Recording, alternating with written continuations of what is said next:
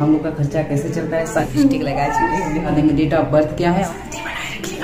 लोग का एज और स्टडी एकदम बिल्कुल सेम चल रहा था। सात सौ छियासी किलोमीटर दूर है। अपना घर छोड़कर आए हैं तो छह साल से रिलेशन था। Hello friends welcome back to my channel Banarasi Jodi. तो दोस्तों, आज हम दोनों अपने करियर के बारे में बताएँगे कहाँ तक हम लोग पढ़ाई किए हुए हैं और कौन सा जॉब करते हैं। सारी चीज़ें इस वीडियो में बताएँगे तो वीडियो को लास्ट तक ज़रूर देखिएगा। वीडियो में मज़ा आने वाला है और अपने बारे में पूरा इन्फॉर्मेशन देने वाले हैं। पूरा इंट्रोडक्शन हम भी देंगे और सीखा भी अपने बारे में बताएँगे। हम बताओगे हाँ। ये भी बताएँगे। तो वीडियो को लास्ट तक ज़रूर देखिएगा और अगर चैनल पर नए हैं तो नीचे लाल बटन दबा के चैनल को सब्सक्राइब कर लीजिए। हम लोग को सपोर्ट किया करिए शेयर किया करिए वीडियो को। तो चलिए वीडियो को शुरू करते हैं। बारी बारी सारी चीज़ों के बारे में बताएँगे कि हम कहाँ तक पढ़े हुए हैं कौन सी जॉब करते हैं। और सीखा को कैसे रखते हैं, हम लोग का खर्चा कैसे चलता है, सारी चीज़ों के बारे में बताने वाले हैं और हम लोग कहाँ से हैं, सब चीज़ बताने वाले हैं। तो वीडियो को लास्ट तक ज़रूर देखिएगा। तो चलिए वीडियो को शुरू करते हैं। तो यहाँ पे सबसे पहले हम अपने एज के बारे में बात कर लेते हैं कि हम लोग की एज कितनी है। तो दोस्तों, हमारी जो एज है 20 साल पूरे हैं, इक्कीसवें रनिंग में है। 21 के रनिंग में चल रहा है अभी, इक्कीसवां अगली बार कंप्लीट हो जाएगा 2023 में। और इनका जो एज है, बताइए अपना। मेरा भी बीस है, अभी रनिंग में हम भी चल रहे हैं। इनका भी बीस हुआ है, इक्कीसवां रनिंग का भी स्टार्टिंग हुआ है। और डेट ऑफ़ बर्थ हम लोगों का आने वाले समय में आपको पता चल जाएगा। जब हमारे चैनल पर कुछ और सब्सक्राइबर हो जाएँगे तो हम लोग सब बता देंगे डेट ऑफ़ बर्थ क्या है और हम लोग कहाँ पे रहते हैं। सारी चीज़ें यहाँ पे बता देंगे चैनल पे आपको। और अगर बात करें कि हम लोग का पढ़ाई कहाँ तक हुआ है, ये कहाँ तक पढ़ी है और हम कहाँ तक पढ़े हुए हैं तो दोस्तों यहाँ पर जो है मेरी पढ़ाई थी बी एच एल एस होता है हियरिंग का कोर्स होता है कान के डॉक्टर के लिए। वो कोर्स अभी रनिंग में था जिसको अभी हम एक तरह से समझ लीजिए ड्रॉप आउट ही कर दिए हैं। अभी तो उसको अगर हम अगले साल जाएँ तो उसको फिर से फॉर्म भर कर फिर से अपनी स्टडी को बरकरार कर सकते हैं लेकिन अभी हम ड्रॉप आउट कर दिए हैं वहाँ से। और इसका जो पढ़ाई है बताइए अपना। मेरा B A third year final हो गया। B A third year final है। हम लोग का एज और स्टडी एकदम बिल्कुल सेम चल रहा था। बस मेरा डॉक्टरी लाइन से था, इनका अपना बैचलर लाइन था आर्ट का।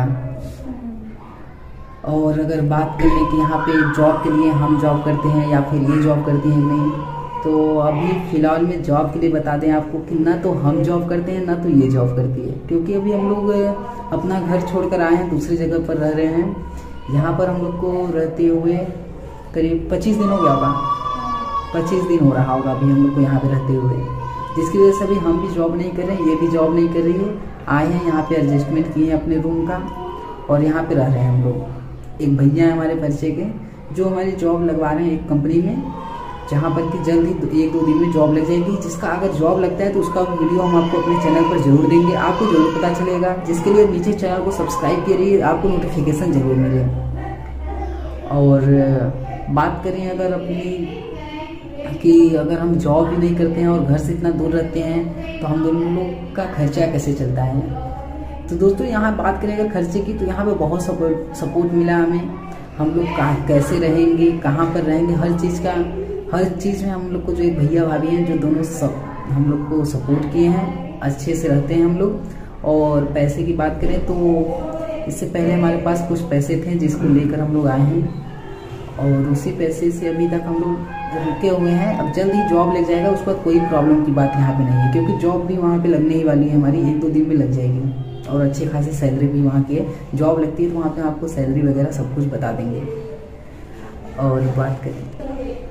और अभी ज़रूरत भी नहीं है ज़्यादा पैसों की, और खर्चा भी तो ज़्यादा नहीं, ये भी तो ज़्यादा खर्चा नहीं करते देख रहे हैं। मेकअप ही नहीं करती। लिपस्टिक लगा चुकी है, मेकअप नहीं करती। ये भी ज़्यादा खर्चा नहीं करती, ये भी समझदार है, समझती है हर चीज़ को, हालात को भी समझ के चल रही है। अभी 20 से 25 दिन रहते हो गया है कभी भी किसी चीज़ का डिमांड नहीं किए। और इसका पहले से आदत था, हम लोग का छः साल से रिलेशन था, घर पर ही।